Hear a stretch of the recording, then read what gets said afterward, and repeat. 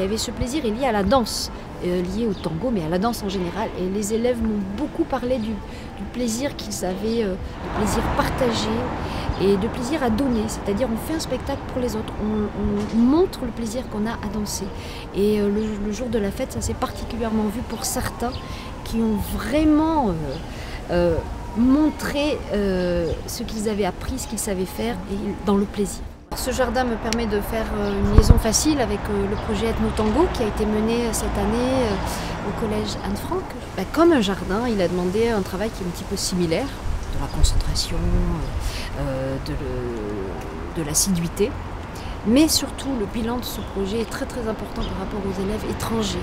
Il leur a permis de s'intégrer, surtout d'être valorisés au sein du collège, mais aussi au sein du quartier, au sein de l'arrondissement, d'être valorisés les collèges ont construit, les classes d'accueil ont construit un projet commun.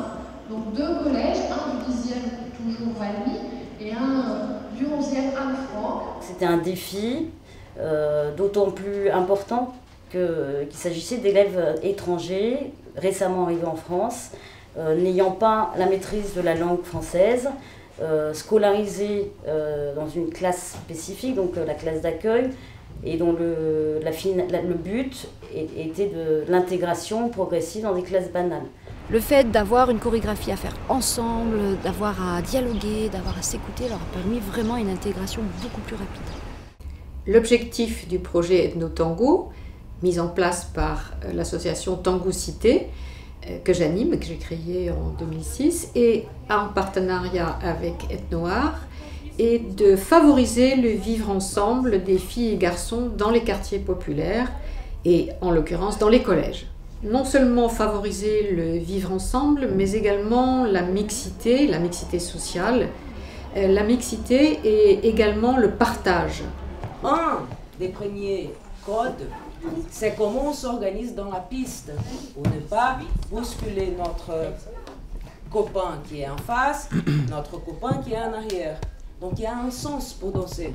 Même s'il fait des pas en arrière, il va toujours marcher dans le sens du bal. Et pas au contraire, sinon, boum. C'est-à-dire qu'il y a une histoire de respect. C'est comme dans la vie, non? On est en train de marcher dans la rue, on bouscule quelqu'un et on s'en va. C'est pas ça, c'est pas comme ça que ça se passe, non? Dans le tango, comme dans toutes les danses, il y a ce qu'on appelle des valeurs, c'est-à-dire des choses auxquelles les gens croient. Hein et parmi ces choses-là, eh bien, il y a le respect. Qu'est-ce qu'on doit respecter quand on danse La danse. La danse, les personnes. Les personnes et qui en particulier En premier le partenaire et puis les gens qu'il y a autour aussi. Ça c'est une valeur, c'est ce qu'on appelle les valeurs.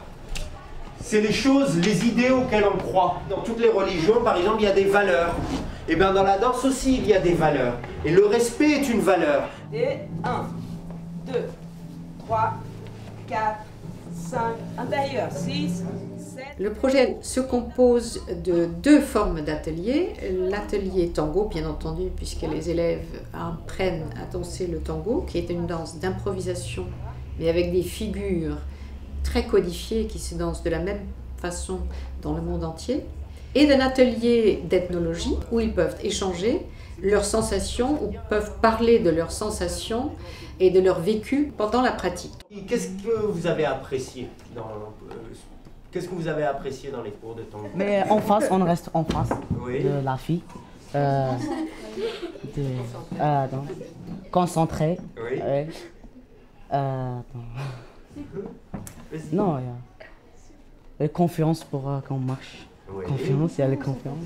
Il y a en fait une véritable complémentarité entre la pratique et l'approche théorique, la discussion, la réflexion, l'échange qu'on peut générer autour de cette pratique.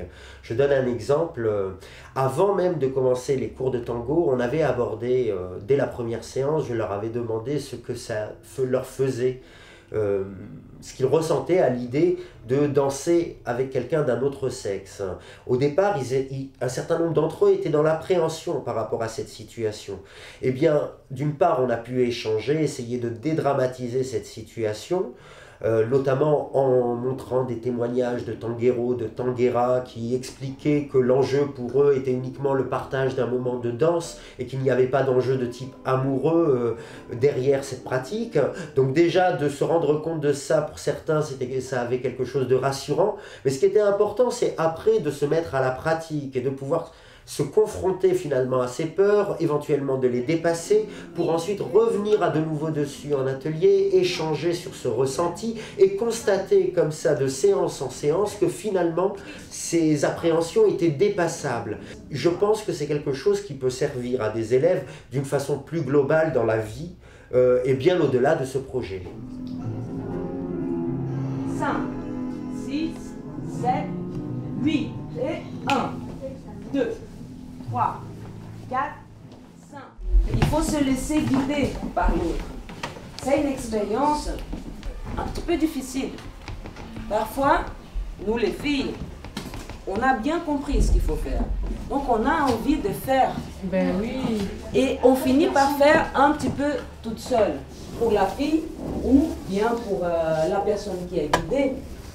Qu'est-ce qui se passe en fait? Il faut qu'on reste connecté à notre partenaire. Il faut qu'on soit à l'écoute de ce qu'il imprime avec son corps pour que nous, on puisse répondre avec notre corps.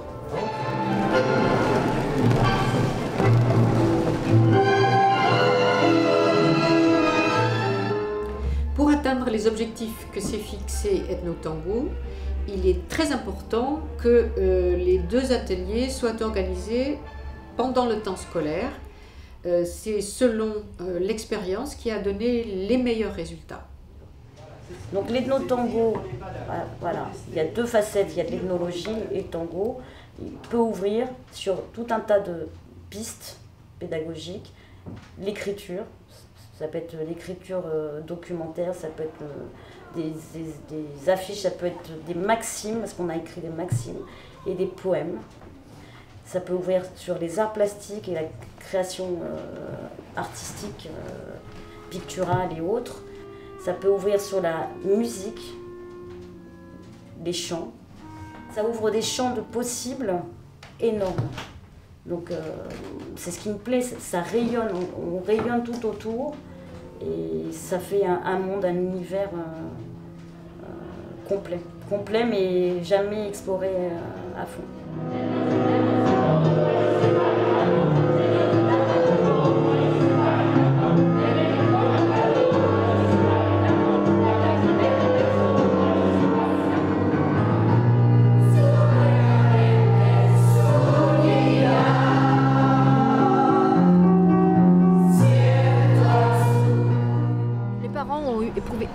De fierté, c'est ce qu'ils m'ont dit. Alors pour la restitution, évidemment, puisque ça se passait dans une salle magnifique.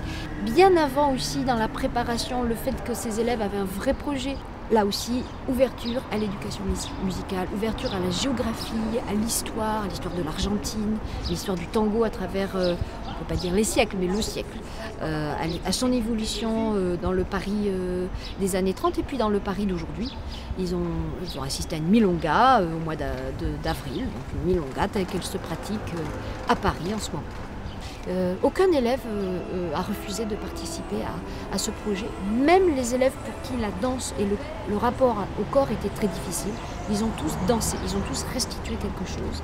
Et les parents étaient très fiers donc, du travail en amont et évidemment de la restitution. Je, ne pense pas qu'ils s'attendaient à un tel, résultat au niveau du, rendu, du donné. C'est-à-dire que, évidemment, on n'apprend pas en une quinzaine d'heures à danser parfaitement le tango, c'était pas du tout le but mais on apprend à, euh, montrer ce qu'on sait, quelque chose de nouveau, mais on apprend à le donner.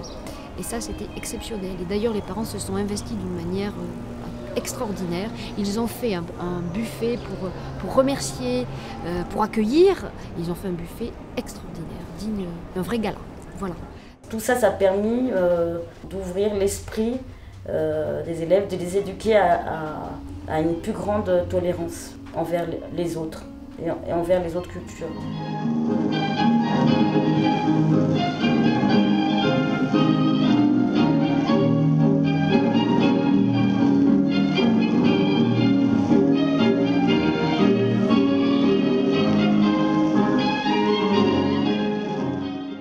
La clé de la réussite du projet de Tango est l'implication du professeur principal. En l'occurrence, c'est le professeur principal de la classe d'accueil. Et idéalement, bien entendu, et on ne peut pas s'en passer, c'est le fait d'intégrer le projet dans le projet d'établissement, donc l'implication de la direction. Idéalement, on pourrait euh, intégrer d'autres professeurs, comme le professeur de chant, de musique, d'art plastique, tel que cela a été le cas. Petit à petit, chemin faisant, dans les deux projets, ces professeurs-là se sont impliqués également.